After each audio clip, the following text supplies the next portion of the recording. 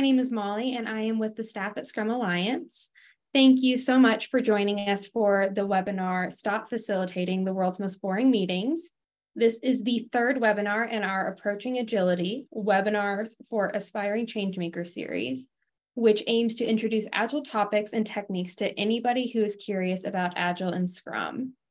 In today's webinar, we're going to be exploring what most meetings look like in today's world of work and common mistakes that we can all learn to avoid as the meeting facilitators and even as meeting participants and hosts. Hopefully you're gonna walk away today with a toolbox of valuable techniques that can be used right away as a meeting facilitator to improve your meetings. So just a few things before we get started. All of the webinar participants will be in listen only mode throughout the webinar. If you have any questions, either for Vibhu or a member of staff, please drop those questions into the chat or the Q&A and we'll be monitoring those throughout the webinar. Um, please, if you have questions specifically for Vibhu, please put them in the Q&A box. We will be doing a Q&A session at the end of this webinar.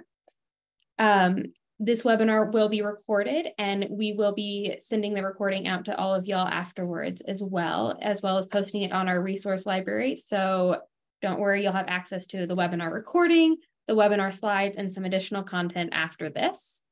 And so without further ado, I am really excited to introduce Vibhu Srinivasan and take it away, Vibhu. Awesome, folks. Uh, hopefully you can hear me. Welcome. Um, and let's kind of talk about an interesting topic, right? Um, this is something that most of us can relate to. So today I picked a topic called um, What if we imagine if we facilitated the most boring meeting ever? How would that look like, right? So what would happen and, and how we can stop facilitating such meetings, right? Because one of the things that's happened a lot these days is um, all of us can relate to going to multiple meetings, almost all of us have back-to-back meetings these days. Sometimes my calendar has got five meetings in the same time, and you're trying to figure out which one should I go to. And then you end up in some meeting and you figure out like, oh my God, that is the worst meeting ever. And how do I get out of this meeting? But sometimes we stay there because of social pressure, uh, because leaving may be seen as a negative thing.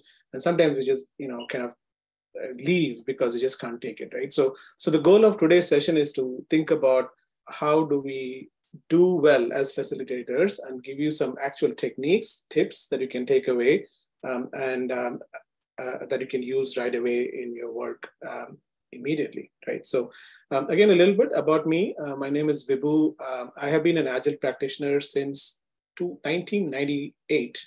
In fact, that's only thing I know. Uh, I uh, have been in the Agile world uh, mostly uh, from starting from extreme programming, Scrum, Kanban, um, comes from a technology side.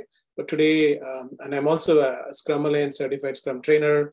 I'm super passionate about teaching. So I've been teaching uh, Scrum and Agile for the Scrum Alliance for the last 12 years. I've done around five, 600 workshops over the time. Um, I'm also um, founder of a company called Agilists, where we teach a lot of this stuff and, um, uh, i work at uh, Accenture in the cloud space. So I am a kind of a cloud solution architect. So a lot of the things uh, you see here is um, is something that I use every day. So hopefully you find meaning in what you see today. Um, this is my family. It's an Agile family. So you meet my wife, who's a pharmacist, my son and daughter. And so we do Agile at home. That's why I show it. My pets, uh, my um, Oreo and Zuri. It's a little bit about me, right? So um, what else, right? So I think um, for that introduction, uh, I want to maybe a little bit around what we do. Um, so there's a lot of beliefs around Agile, right? We call them orthodoxies, um, things that we think should work only in a certain way, and our beliefs stop us from doing things in a certain way. So our goal of Agilists is is to kind of unlock and unpack those orthodoxies in people so that we can actually create teams that are you know high potential teams right so that's a bit of what we do in uh, the Agilists world Okay, so um, let's come back to the topic of meetings. Um, and when when we think about meetings, um, the I started by saying you know a bad meeting, right? So top two reasons for bad meetings is the first one is an ineffective uh, somebody a facilitator who's not really prepared. So they show up and they are not ready to facilitate the session, and and that's like one of the top two reasons why meetings are really bad from you know, uh, from from really bad to bad, right? And the second one is having a very unclear purpose and unclear uh, outcome. So people start the meeting and end up with another meeting. So you're just stuck there, right? So those are kind of the top two things. But gatherings have been big part of human culture, right? So for so many years, uh, you may have seen uh, back in the day, even people get together and they talk about, you know, um, call it the gathering. Let's get together and talk because humans like to work together. So that concept of working together, you know, when we started in like working, I mean, we now call that as a meeting, but I see meeting as a gathering space. Now, why do we gather? You know, sometimes we gather to reach consensus, you know, for whatever reason we want to meet as a team um, and we want to, um, you know, share ideas. Sometimes we gather because we want to share some information back, right? So, um, and we want to give something back to a lot of people. Sometimes we may do something on we need some clarity or guidance on something. So maybe it's a design that i've prepared and i want to call a bunch of people and ask them how is this design? and get some more ideas into that. Or it's just sometimes an informal get together so lately uh, especially in the post covid era there's a lot of meetings about mindfulness and just meeting your team because back in the day we used to all work in offices so we used to see each other a lot um, but nowadays, with us working from home, um, it's a lot more important that we actually meet our team and, and our leaders want to know what our team is doing. So gatherings or meetings have taken a whole new meaning, right? So my goal of this session is to help uh, think through how can we get better as facilitators and improve the life of so many people? Um, because you know we can make you know everybody's life more joyful and fun if the facilitator does a good job at preparing for meetings so so that's the context of the today's session is from a facilitator's angle. So we we do a good job in running these meetings. Okay. Um, so when we think of gatherings you know and you can probably relate to these kind of meetings right? So on one side you have these one-on-one meetings um, so maybe you have uh, a meeting with the manager. Maybe you're meeting your team member. Maybe there's a new joinee who has come into your company and you want to talk to them about how the norms of the company are. So one-on-one meetings are, you know, kind of nice because you can connect with people, um, you know, whether on Teams or Zoom or whatever, where you can put your video on. You're a lot more uh, direct because there's only two people in the conversation, you know. Now, second kind of meeting is a smaller group of people. Um, this is something you can relate to, right? When you have a group of people, and let's say you know those group of people. So, for example, family members, close friends. Um, you may notice that there's a certain amount of like free behavior in those calls. People are a lot less reserved, and you're kind of open to conversation. We don't mind putting the video on because we know these people, right? Um, so it's a lot more easier to work with those kind of meetings. Uh, but smaller groups sometimes also has like people that we don't know, right? So even it could be one person that we don't know, or it's a client call and you you know that you're going into a call with a customer there, and maybe there are six people, but one among them is a customer. So all of a sudden, the behavior that comes, the group behavior that we do as humans, tends to be a lot more formal, and and and we need to think about how to manage that session um, and how do you engage these people as we go along. So that's a the kind of the smaller group, but the people that we kind of want, some of some of them we don't know, right?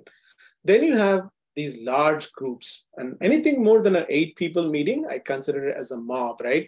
Um, generally, you know, three, uh, eight plus is a big group. It's tough to manage these things uh, but it's mostly informational only or like today right? We have many people in the call but it's mostly for learning purposes or sharing ideas purposes um, so large group meetings. So as a facilitator think about when you start thinking about meetings and gatherings you may want to think about what which one are you doing? Because depending on the type of meeting that you're facilitating uh, the way you may engage with the people will completely differ uh, in depending on the kind of gathering that you're going to facilitate okay um, and then you have kind of different types of meeting, right? So we have like this one-time meeting. So for example, like today I'm presenting, although it's a repetitive webinar, I am presenting today once, you know, and then um, so it's a one-time meeting, you know, or, or maybe it's a, a meeting with uh, somebody, it's one-time meeting. And then you have these recurring meetings. So in most Scrum teams, they'll do something called as a daily Scrum. Um, just by name, it happens every day. So you gather around something you talk about. So those are kind of generally the two types of meetings, one time and recurring.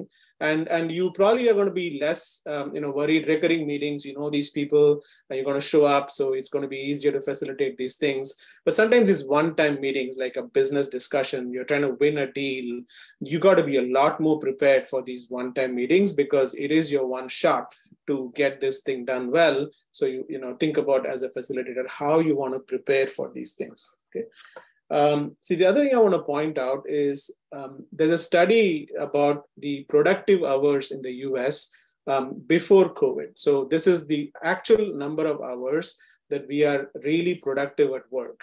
And it, eh, take a second and think about in your mind what this number could be. Um, it's it's it's like some if, so if you think about let's say seven eight hours of productive work that's not true um, it's like less than five. It's actually 2.4 hours is the actual number of productive hours for a typical US based company in the IT industry based on a couple of studies before COVID. So that doesn't mean we don't work, but we have a lot of meetings. We need to go to lunch. We got to have the you know water cooler talk. Um, and so we have a lot of these other things going on and then there are distractions right so multiple projects we are working on so that is before covid two, two and a half hours of collaboration time, the actual productive time, hands on the keyboard time. And now imagine what has happened after COVID, right? So I'm only guessing that that number of hours has come down. And I and I don't know if you feel like that, but many times people feel like, when am I going to do the work? Because my day just goes by so fast. Um, so you end up spending a lot of personal time in the evenings, eating into all of that your own time. Um, so it kind of important that you we think about how to give this, make this better, and what's what can we do as facilitators so that we actually create space for people to do well, and that's your time and you're done with it. So um, I'm going to go into um, kind of um, how much you can personalize, right? So when you have small meetings, so on something on on this side, um, you can be a lot more personalized uh, because um, this is people we know, or even if it's a small group, but people we know.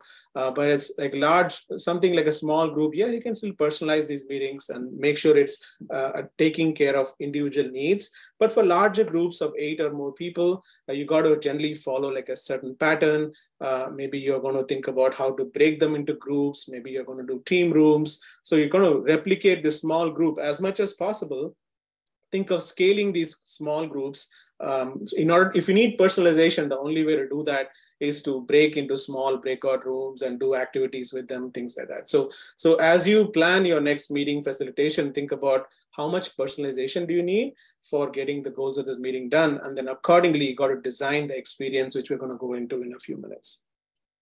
Okay?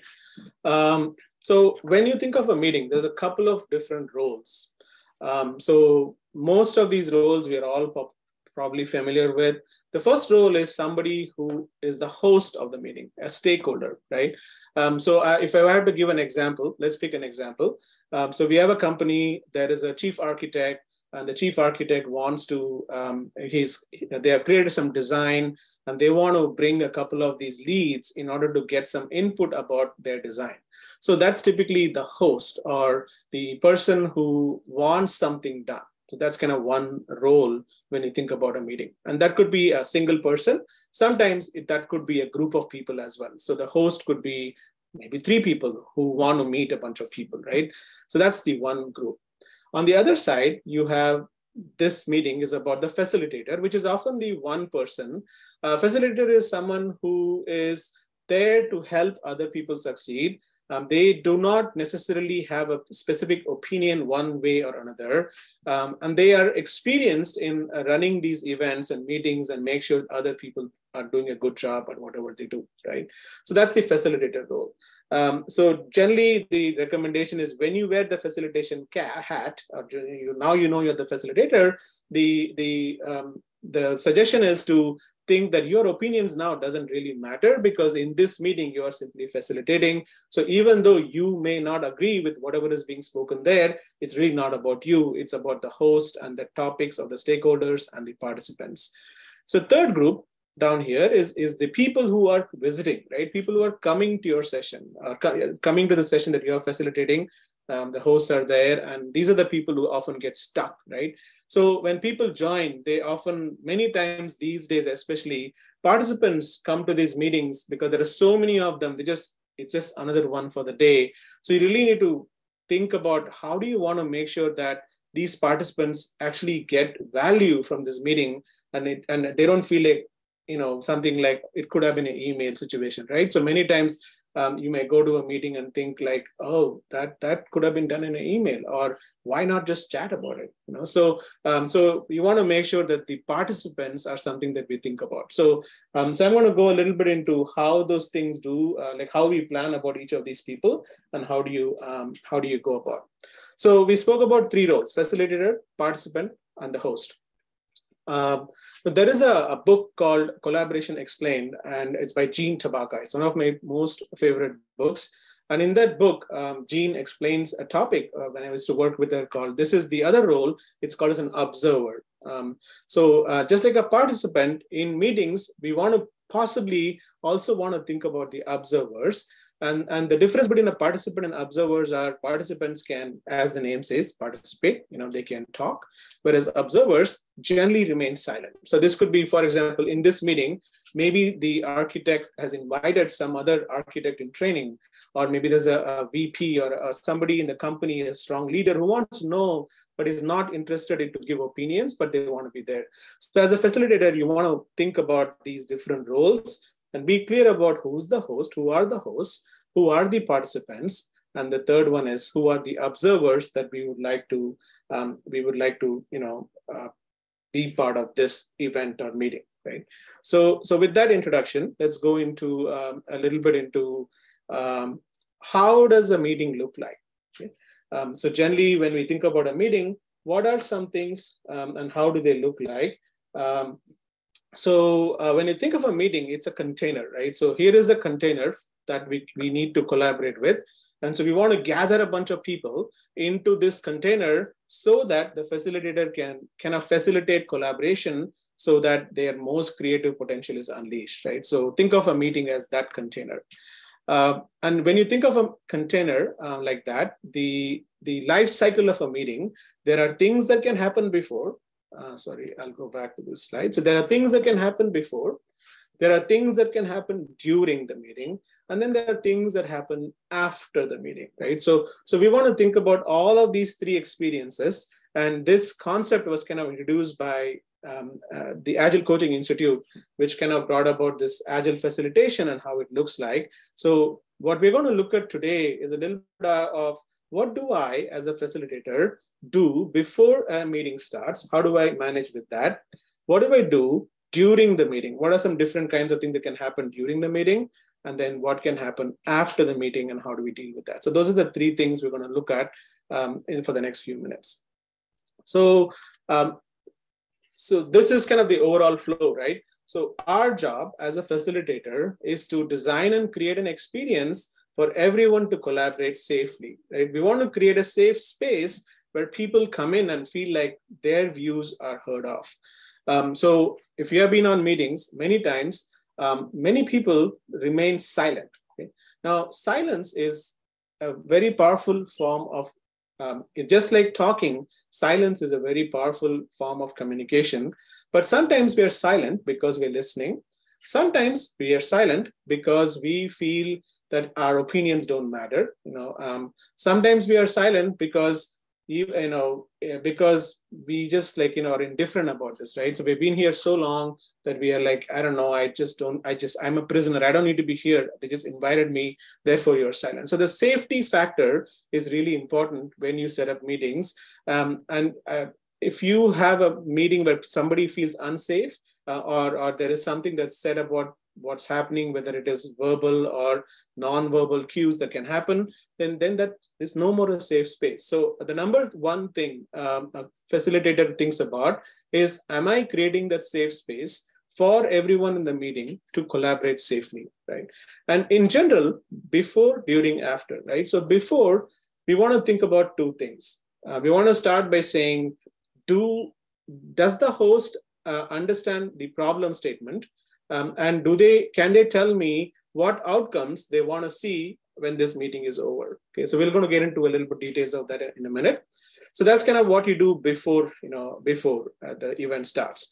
So um, uh, now after the event starts, um, you may be the main role of a facilitator is to facilitate collaboration um, and and and manage all the dysfunctions that happen you know people may leave the meeting somebody may switch off the video um, someone may come late into meetings. So there's a lot of these dysfunctions happen. So you're facilitating collaboration. You're also managing all the dysfunctions and you're making sure that things technology is a big deal today. So when you expect something is going to happen some something else happens. So you're kind of doing management of all of that. And after the meeting you follow up really quick with action items and say um, um, here is what happened in this meeting, and here are some couple of action items that we came up with.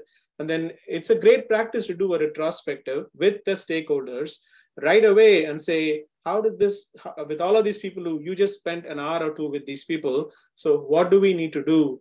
How, how did I do as a facilitator? Did this meeting go well? So you always close with a retrospective. So think of these as like the before state, the during state, and the after state of some of the key things a facilitator needs to think about when they are planning a meeting. So let's jump uh, a little bit into the before part here. You know. Um, so what do we do in the before part? So problem statement. Um, so when you think of a problem statement, um, if you cannot describe it, so the, this is the host and the uh, facilitator, let's say they set up a meeting and they talk about can you help me describe what is the problems, problem you're trying to solve? And, and a good way to write a problem statement, um, as explained, uh, there's a format called How Might We. So How Might We comes from the design thinking experience, um, and it, it is popularized by the Stanford Design School. So How Might We um, brings kind of empathy into play, and, and there are lots of, you can read up later on the Stanford D School on How Might We and why it's a good technique to write problem statements. So, uh, so but the goal is you spend um, a couple of hours sometimes with the stakeholders or the host to come up with the problem statement when designing a let's say a one one and a half hour session with a bunch of people. Um, so here is an example of uh, how might we statement uh, how might we create a new and differentiated experience for our basketball fans of our team so that they can interact with each other during the game on in the on game day real time right? So, so you you may work with the stakeholders iterate on some statement like this a couple of times, and then you probably want to get an agreement on, is this the right problem statement or right uh, problem we want to solve? Um, is this the right purpose for this meeting, right? So, so that's step number one. So assume that the you and the uh, host agreed on that looks good, and let's move step two. And all of this is happening, remember, before the meeting. Now, step two is okay. I got we got the problem statement, but I used to uh, like one of my colleagues, uh, Mona. So she has kind of when, whenever I worked with her, she would often say something like, "What does success look like at the end of the meeting?" And I, I really would like that statement because it makes people think about um, think about how what does success look like and, and, and it, it goes back and forth one of them will say a one of them will say b you write down all those ideas and then you come up with two or three things that if we do these three things success is achieved right? So in this case, for example, the, the person says, we have many new ideas. You know, if we generate a lot of ideas so that we can come up with what makes a differentiated experience for fans, that's success for me, right? And then someone else says, well, not just ideas, but I also want to make sure that those ideas are prioritized in some way, right? So, so we want to talk about those two things. And so when you do something like this, you don't want to end up with like 20 different outcomes because then nothing is going to get done in that meeting. You want to focus on not more than three to four outcomes for a, a typical meeting of let's say one hour or whatever, right? 45 minute meeting.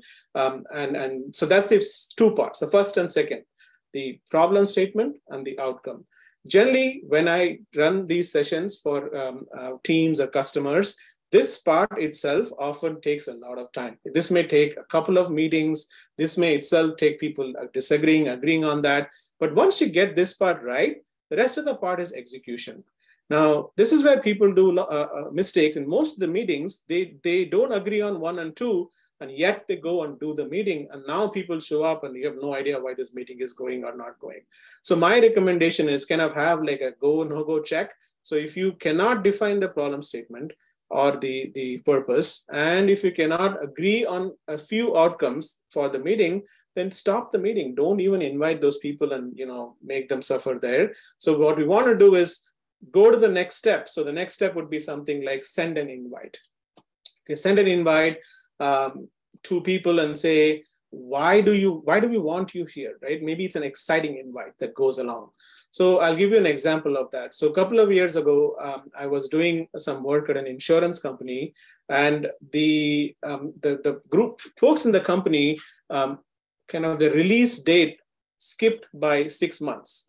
So the ceo of the company got really concerned and he wanted to meet all of those 120 people on a certain day because he wanted uh, he wanted this release done because they had a lot of legal ramifications of not making this release.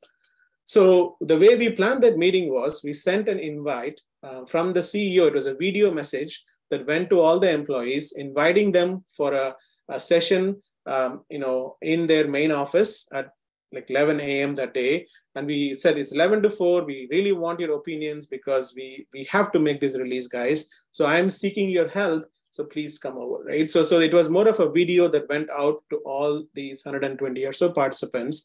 And then on the day people came in, they didn't expect it. It was it was feeling like there's some kind of a party going on. So we had balloons outside. We had like a band playing music outside. You know, when they walked in, we had some drinks set up, like you know, a non-alcoholic drink set up for them, right? So when they came in, they all sat in a table. So the whole day felt like a celebration, right? And so they really enjoyed that they actually got to do something fun, have some lunch but then the ceo and the and the team worked together and then then he left. But then by the end of the day they actually figure out a way to make the release right?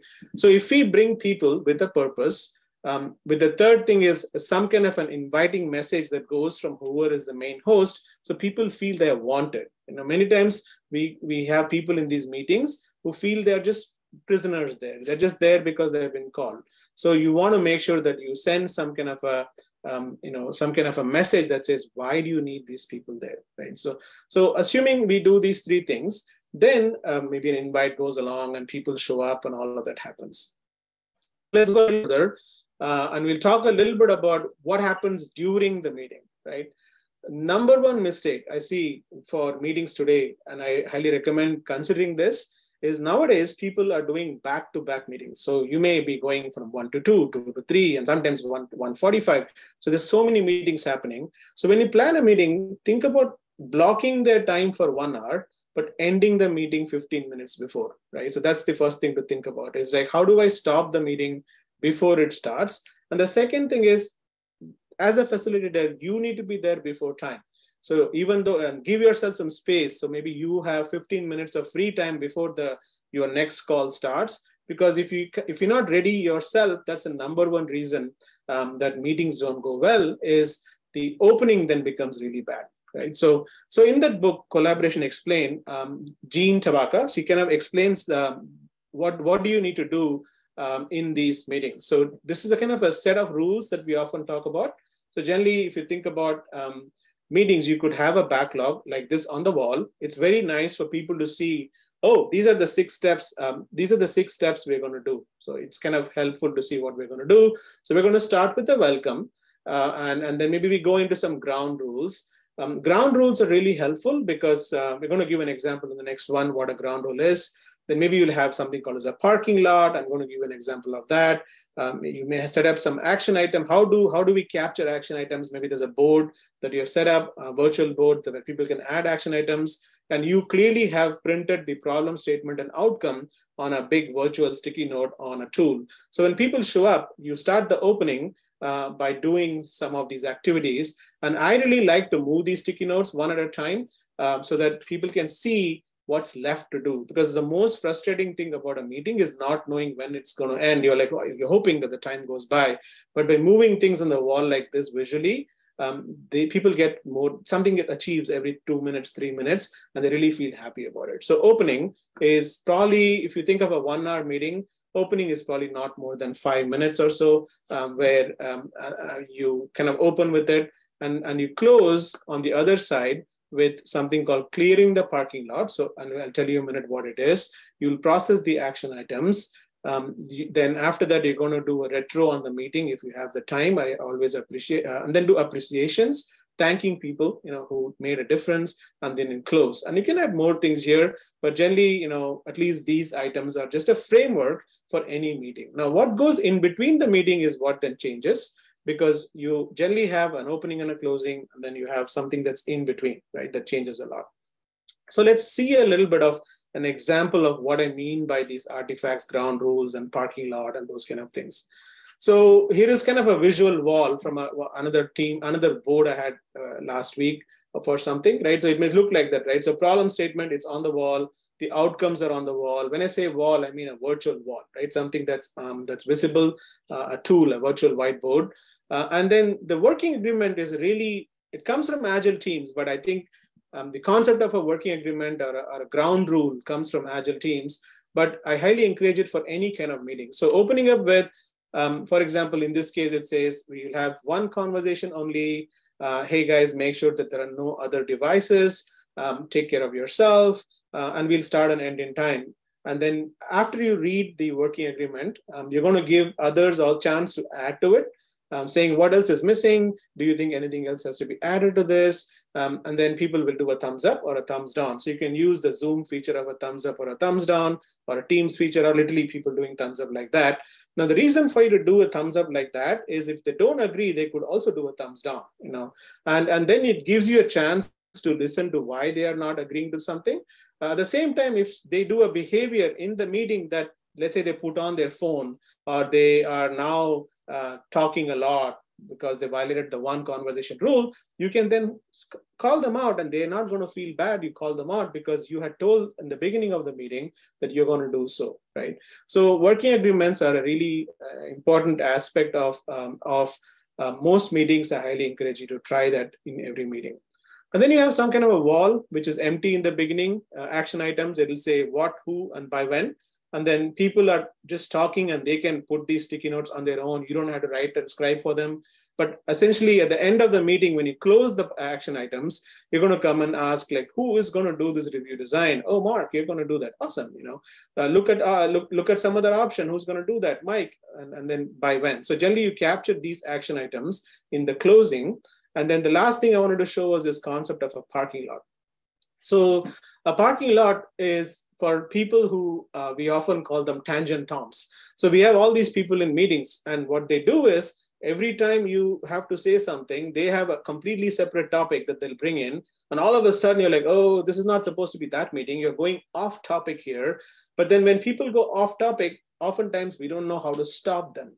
And therefore, especially if it's a person of power, somebody who's a leader, you know, director, whatever, right, senior person in the company, you just will not even stop them. So all of a sudden, the meeting has taken a whole new agenda that you didn't expect it to do, right? So a parking lot is something you create up literally like a space like this and say our parking lot, and then you will teach them a technique called as a yellow card. So a yellow card in soccer is basically you're saying, you know, that's that's a kind of a warning, right? Don't do that. So you could just have a yellow card sign, and every time somebody does something, maybe you yellow card them. They have one more minute for closing the conversation, and if they finish, you know, and it's still going on, you can just put the topic on the parking lot and move on.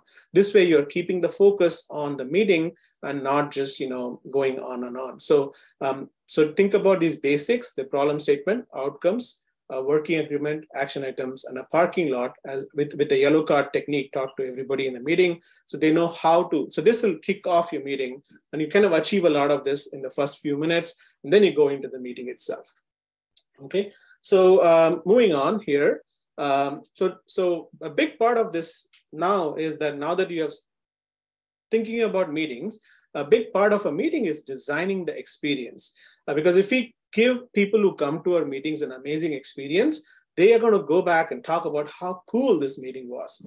Um, otherwise, they're going to go back and talk about how bad this facilitator was, and and the, this person was like the worst facilitator. They probably did this and did that. So you, you want to be in the other side. So a lot of the times, our goal is to create an unbelievable experience for people, like the the party thing I spoke about at that insurance company, right? Something that they don't expect to happen. So how can we do that? How can we design some experiences, right?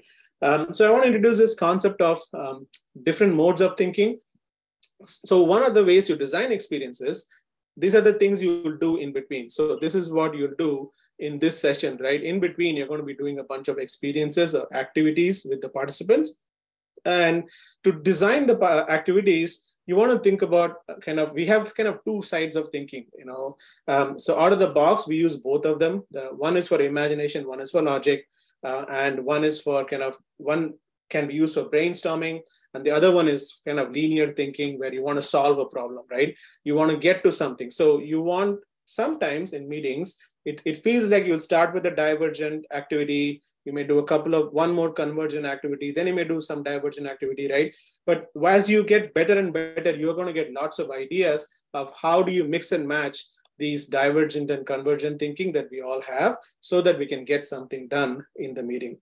Um, so uh, for example, right, um, let's say we are a family and we are going on a long hike this weekend. And generally, after a long hike, the question comes, where do you want to eat lunch? You know, so it's at least in my family, it's a big problem. Where, where do you want to eat lunch? And everybody has got five opinions. So you want to make sure that before you go on the hike itself, we kind of do a little bit of uh, divergent convergent thinking here. So we have picked a space. So how do we do that? Is you could use a technique. In this case, it comes from the design thinking school. It's called the crazy eight.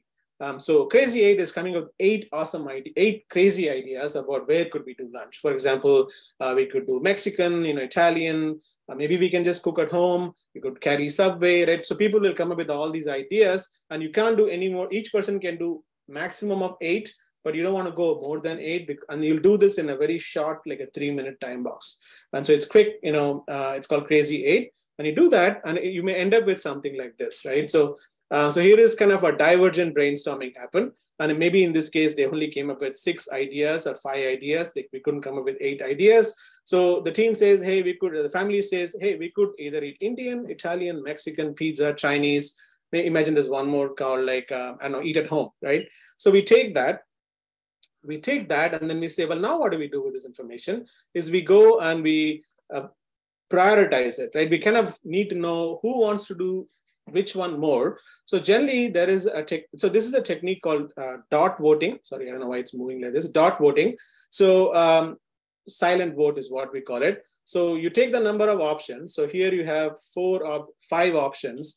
Uh, uh, and this you just take a square root of the number of options. And then let's say you give each person two votes. Then everybody in the family votes. And once you vote, you can you can either vote on the same topic or you can vote on multiple topics. You can abstain from voting, uh, but you can't do let's say any more than two. And then you see from this pattern that the this family overall prefers either Italian or Mexican for this weekend's uh, you know lunch after the hike. Well, now the the discussion comes. Well, let's sort it out because these are good, but I want to say expensive, affordable, uh, more votes, less votes. That's my prioritization prioritization matrix.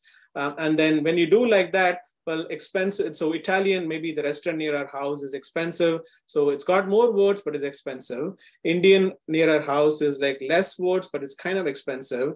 But the most affordable one for us is this, this is the end of the month. So we're kind of running short on cash. So let's do affordable. And then this Mexican restaurant near our house is, you know, really affordable. And so we'll do more votes and affordable. This kind of, and you can change these parameters based on whatever that is the intent that you're trying to do. In my case, I picked affordable, expensive. You may pick like high value, no, low value, high cost, low cost, um, various things you can do for the prioritization metrics, right? So what we showed is a way to get a bunch of ideas using Crazy 8, ideate. And then from there, you're going to do like some kind of a dot voting. Then you go from there and you build like a, a prioritization matrix so you can um, you can get the um, it's kind of an option to move on. So you can do something. Otherwise, we're stuck and somebody in the family will say, we'll do pizza, and they are stuck eating pizza, although you didn't want to do it. Okay. So that's the convergent divergent idea. And how do you engage with that? So what else can we do, right? Creative ideas for meetings. And I want to present a few short ones. Uh, I know we may be running out of time soon, uh, and then we can pick questions at that point. Um, so what else can we do in these meetings and how do we make it more creative for people? Um, so the first one is um, there is something called the core protocols. Um, so um, and later on, I'll, will, I'll send the link in the in the write up where these core protocols can be found. Uh, but a core protocols is um, so there is a protocol called the check-in protocol, check-in, you know, and there is a protocol called the check-out protocol. So for some meetings, especially these days, uh, you may start like because we are coming from so many things right people may have had something in the morning uh, maybe there is some emergency at home uh, so we don't really know what is the emotional state of this person when they show up in a meeting. So oftentimes when you start a meeting, you, you may start by saying, hey guys, welcome to this meeting. Uh, let's do check-in today. Uh, because you know, and then you, you check in sound, sound something like this, right? Um, this morning uh, I had, I know I had this presentation today, uh, so I've been preparing a lot. I got up a bit early, but I'm here fully present and I check in. So check everybody will go around the room, we a quick check in. All they're telling you is their state of mind. So once you know the state of mind, you as a facilitator know, oh, this person has had a rough day. Let me make sure that I take care of them. Uh, otherwise, and so that's kind of the check-in protocol. And then similarly, there are many like the, I think there's 12 such protocols, but you can, as you master more and more of those, you can bring any of them as you do your sessions and in, in between those sessions. And a checkout protocol is a way to say, hey, I'm going to check out uh, because I have to go do something else, you know, in the day. Um, so, so that's check-in and check-out protocols. And then the other thing you can do is in, in Scrum teams, there is a, a, a, in Scrum, there are four events. And one of the event is called as a retrospective. Retrospective is a short feedback loop. Uh, it happens at the end of every sprint in Scrum. But with retrospectives, one of the common complaints that comes is it gets really boring, guys. Every week, every two weeks, we are meeting as the same thing we're using. And over time, we lose the funness of the retrospective. So what one of the things that good uh, facilitators do is they bring back fun in every retrospective. And you know you're a good facilitator when people show up to retrospective expecting some magic to happen. So for example, um, you could be using this kind of a, a digital board. Um, so this is a, a, style of retrospective called as a sailboat. Um, it's, um, it's something that you can use um, and you set up this wall, people will come and talk about it.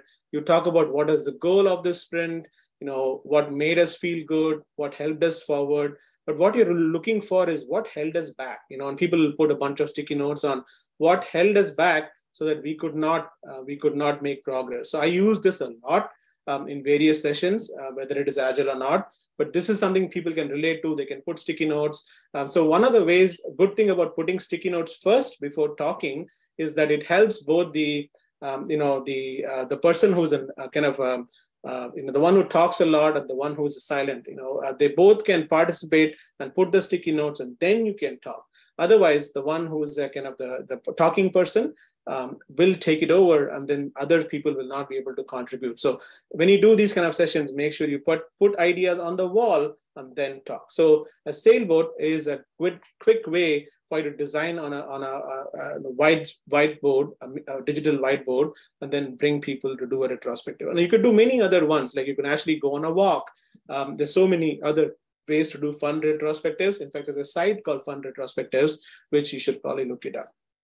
Okay, so the, sometimes you may want to do something called as a lean coffee. My goal is to give you a couple of different ideas.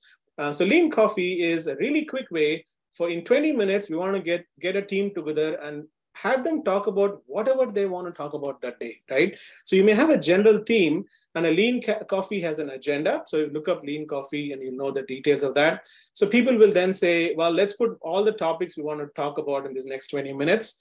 And then once you do that, everybody dot votes these topics and you pick the top three topics or top four topics, and then you're going to go one by one.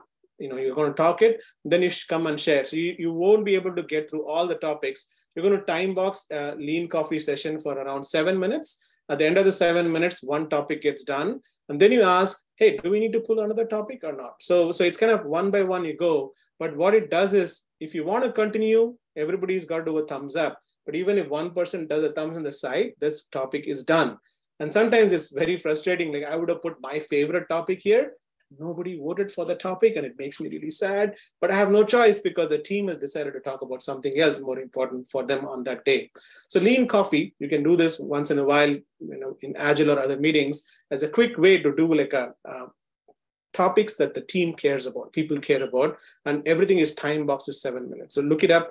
It's a, probably a fun thing for you to learn and how to facilitate a lean coffee right Next one is this, um, in Amazon, they don't use PowerPoint, right? So there's something called the Amazon narrative format. Sorry, there's some text issues there. I was trying to finish something. Um, so, and, and narrative, so when you go into these meetings um, in Amazon, you'll see the first few minutes in many of their meetings are really silent. In fact, the first 15 minutes, they're really silent.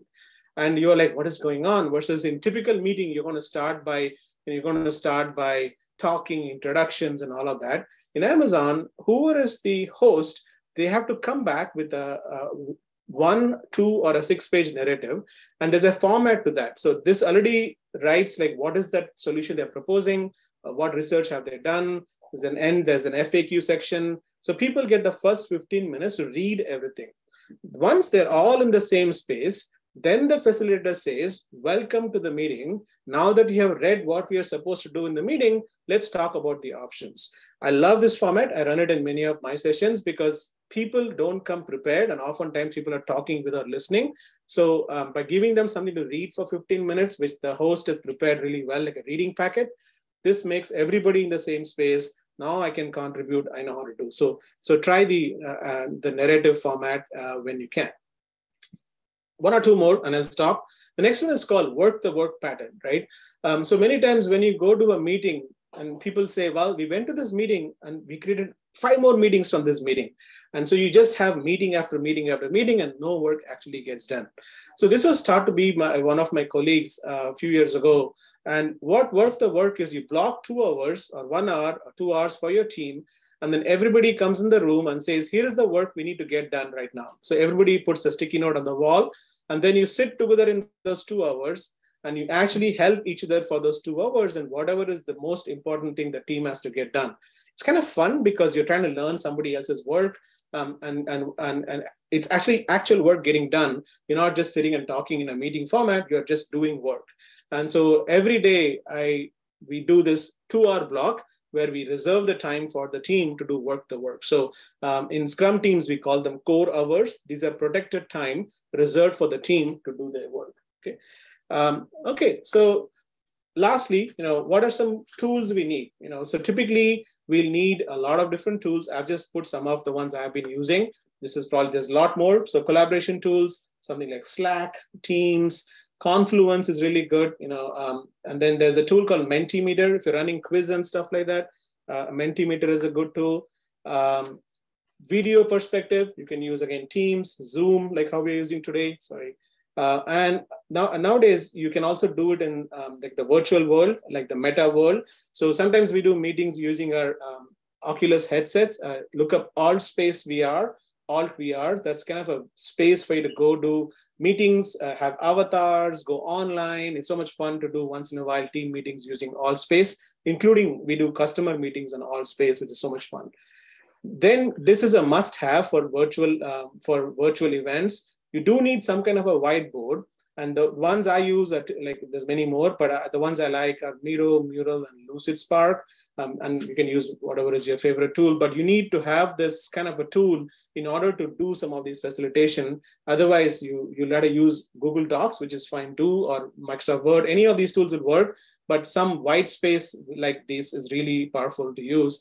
And lastly, you need some project management tools like Jira, Azure DevOps, there's many of them, you know, in that space. So these are kind of the common tools that I use for facilitation. So again, my goal today was to introduce you the framework, um, talk about the before, during, after, give you some access to some of the techniques, uh, talk about the different personas who are there, how to manage them, talk about the uh, person who's like the facilitator and the observer and the participant, and give you some tools and techniques. So that's kind of where I want to end, uh, stop today and pick up any questions that you may have. So I want to pause and uh, look for any questions. Thank you.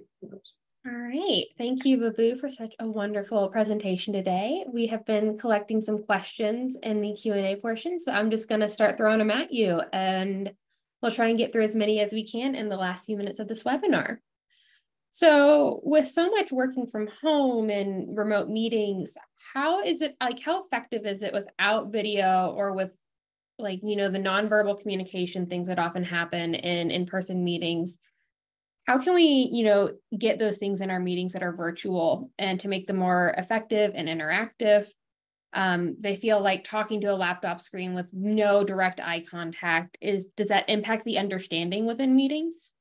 Yeah that's a great question right so um, yes right so i'm a like first of all i'm a visual person so for me if i don't see the person i don't know what to say you know so when they suddenly put off the video off i don't know what to do but at the same time studies have shown post covid that hum, uh, we have never looked at ourselves for eight hours in a day before in our life. Imagine sitting in front of a mirror looking at yourself for eight hours in a day. And so there is a study that's been going on that people are actually getting more depressed now, sitting at uh, eight, eight hours looking at their own image. So there are a number of reasons where we may be putting video off, right? But at the same time, I encourage teams to, as much as possible, at least once or twice a day, put whatever format of video on. So in my case, I always put video on and whether the other person puts video on or not, people know that Vibhu's calls always have video on. So sometimes I and I, I we kind of get you know um, used to that, you know. But I think without the video, you'll really not know what the other person is doing. But maybe there's something going on in their home, right? Maybe there's someone sick. Maybe there's some uh, cleaner behind them. So I think it's just being aware of what's happening around them. But asking them sometimes also helps, and then finding out why they're not doing it really helps as well. So um, that's all I would say for that. Awesome. So then another question asks, can the host and the facilitator be the same person? This is something they often encounter where they have to host and facilitate at the same time. I would say uh, for a, like a two people meeting, for example, that I spoke about, yeah, usually the same person. But for large, like if you really want to get an outcome done in a meeting, I always like as a lead, like sometimes I in my role I have like I ask for meetings, but then I generally ask for like a facilitator because that removes me from talking. People get confused. Are you talking as a host or a stake? Are you talking as a facilitator? I'm confused, you know. So uh, I would encourage, if possible, to keep them separate. But for small meetings, sure. I mean, you can get away with that, you know. So, but for larger events where you need something done, I would highly encourage you to separate in scrum that's why there's a role it's called the scrum master you know so the role of a scrum master is to be the facilitator not the host you know and and so that's why it's important to have that scrum uh, master role kind of solves that problem for you awesome we also had a few people ask you know we've all done it we've all been in meetings where we've squirreled away we've gotten distracted from the main topics the main tasks the outcomes how would you recommend being able to bring meetings back on track to really focus on the intended outcome and the intended discussion? How do you stop on track? Means how do you bring it back? Is what you're saying? No. Mm-hmm. How do you bring a meeting back on back to the topic at hand when it gets? The, the, so I discussed I discussed this concept of a parking lot. You know, so the parking lot is something that you can actually um, put show the yellow card you know um, like or a drink whatever is yellow next to you you know and then and then people will say oh yellow card i got a yellow card okay i know what i'm supposed to do right that's uh, if you teach them what you don't want to do is like um, what you don't want to do it is like um, do it without telling them right? Suddenly you don't want to show somebody a yellow card they get angry. But i think if you teach them before they're quite okay with that you know. The other thing is um, is just um, you know asking the people bringing you know bringing back the topic and saying hey guys let's show let's go back to a problem statement. Let's go back to outcomes. Are we actually following the outcomes so the other thing to do is to kind of point out back to the outcome. So people say oh we're not following that outcome. But it's unfair as a facilitator if you don't do it you didn't do justice to the people you just let them do something happen and i feel it's like oh my god what are you doing you should have done that right so i feel that's important uh, to do that okay. so um you actually answered quite a few with that one answer. So thank you for that. Um, how do you encourage dissenting opinions to foster more diverse input and healthy discussion? Oftentimes, group thinks limits our progress and potential. Yeah, so group things limit are 100% agree with that. Also, you know, sometimes there are studies that, you know, that's why the idea of let's talk after we put the ideas out, right? So, so we think about the, in, in the, you know, the sticky note idea in Agile, uh, if you have people put all the ideas up front you know then you are getting people starts out on the wall then you talk about it right so versus um, otherwise you start by saying who has an idea. Of course if the, the person who is the strongest in the team always has an idea. And once they speak others don't speak for whatever reason right? So we want to avoid such behaviors um, where we people feel um, empowered to kind of put their idea out you know? And um, so it's really important for leaders to be silent, you know, and it's very tempting to keep talking, you know, but I would encourage the facilitator to have the conversation with the leader of the group and say, you know, is it okay for you to be quiet? You know, and sometimes they're like, of course I'll be quiet. You know, what do you think? I'll be quiet, right? But you want to have the conversation before and not after. So before the event starts, find out who's the leader in the group and have a conversation with them that, you know, these are the kind of things I'll be doing and they're quite okay with that. Cool. Um, so someone brought up an example, they're a scrum master for an 11 member DevOps team, um, which, you know, can be a challenge when you have such a large group. So you had mentioned, you know, you can break into smaller groups, but sometimes the takeaways are lost with like when you go back to the larger team. Any other suggestions for being a better facilitator for a large team or a large meeting? Yeah. So so you're saying your breakout rooms may not work because when you come back, everybody has to be connected back in the same topic. Mm-hmm. I don't have any immediate idea I can think of. You know, um, I think visual facilitation helps a lot. You know, so think of like if you're talking a lot as a facilitator. This today I'm not kind of I'm in the kind of talk mode. Therefore, you know, but generally when I facilitate, you should not be talking at all, right? You're doing activities and setting up the boards and getting people together. So by creating a visual board, even though they're working in two teams, maybe they're putting all the information in one view, you know? So by putting in one view, everybody is seeing what's being put, and then they come back and they update, right? And they come back and say, um, uh, here is my update, you know, one of them gives an update. So that way, you know, they keep the view the same, so the two teams could see the same view and then have them come and give an update. That's what I would say. What I wouldn't encourage is 11 people talking in a call, right? Because now you have no idea uh, how can 11 people talk in a call? It's impossible. You know, it's like three of them will talk, other eight will remain silent. So it's really important to make sure everybody's voice is heard. You know? So um, I think we have time for one more question. Um, looking at what we have. Um, so especially when you have a recurring meeting with the same group of people, do you need to set up the kind of the agreements and the outcomes for each individual meeting? Or is that something that should be applicable for the entire series? How do you set up those agreements when it comes to recurring meetings? Great question. So I yeah, obviously you don't want to spend every every every recurring meeting going through the agreement, but I generally keep it on the board. I will point to them like a list already prepared. So people know if the same group of people coming, they know what it is going to be. But you certainly want to, you don't want to go through the whole list each meeting, but you want to have it on a board or wall somewhere and remind people of the working agreement every now and then, right? Hey, and, and people get used to it. Uh, and then it's it's part of your, it's called the team working agreement.